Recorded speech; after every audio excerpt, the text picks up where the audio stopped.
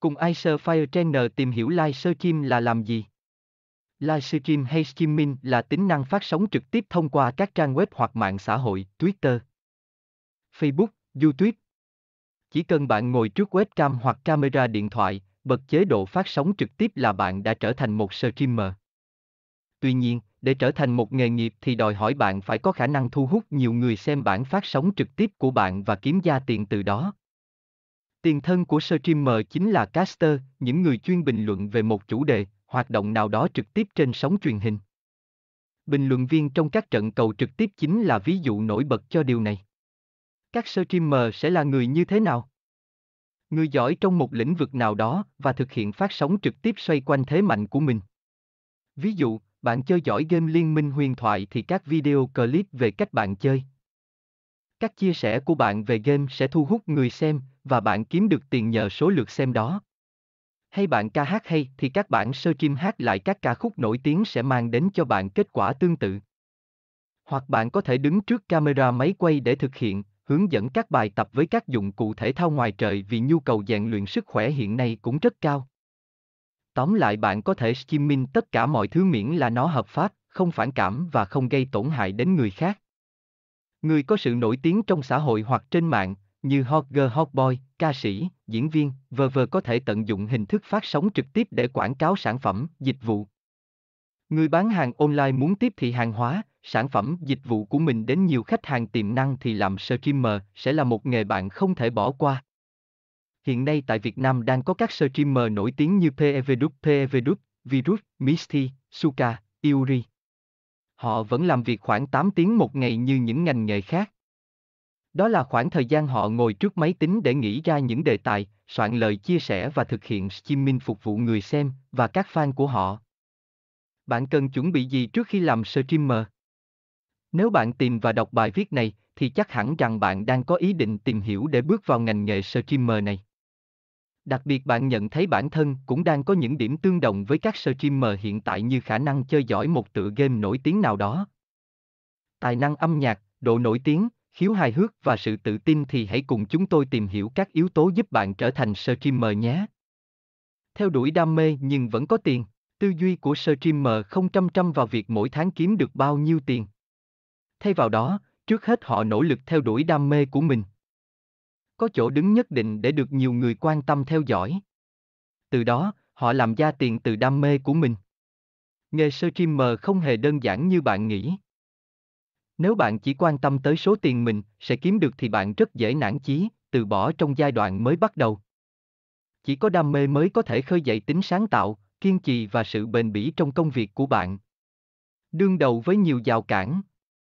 Định kiến Tại Việt Nam, streamer vẫn chưa được phần đông xã hội công nhận như một ngành nghề chân chính. Vì vậy, không ít người có định kiến đối với việc bạn làm streamer. Đặc biệt là gia đình, người xung quanh bạn.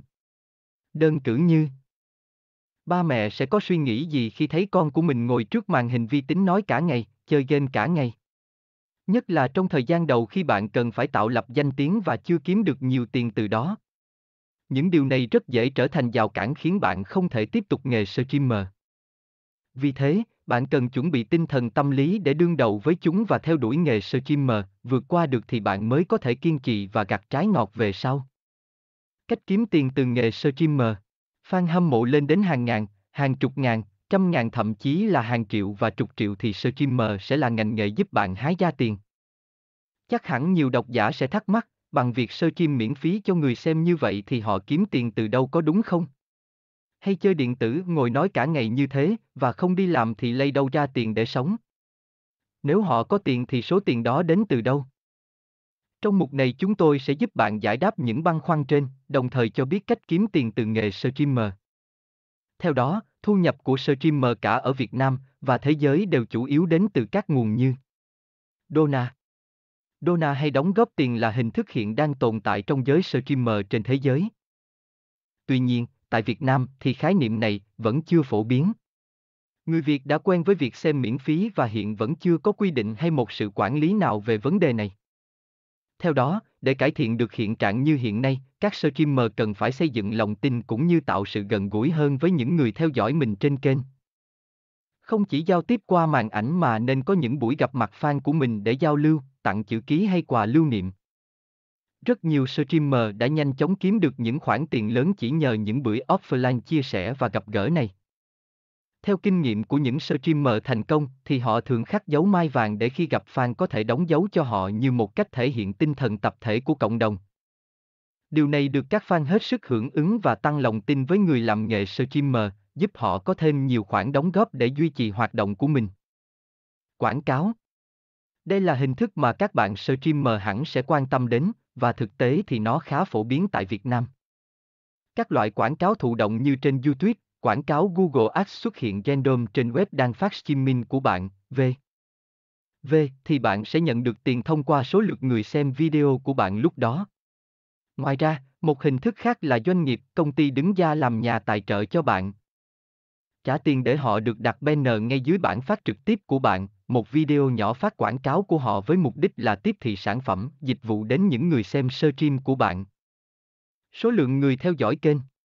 Hiện tại giá một lượt theo dõi trên Twitch TV là 4.99 đô la, khoảng 117.000 đồng, tỷ lệ ăn chia có thể là 5, 5 hoặc 6, 4 giữa Twitch TV và streamer. Làm bình luận viên. Nếu bạn giỏi về một lĩnh vực nào đó, phổ biến nhất hiện nay là game, thì bạn có thể được trả lương cố định để làm streamer chia sẻ về game yêu thích của mình. Thường do các công ty truyền thông hoặc công ty phát hành game thuê bạn. Acer Fire Trainer là kênh update thông tin sản phẩm 24/7. Vui lòng click nút đăng ký và nút chuông để theo dõi nhiều thông tin hơn nữa nhé.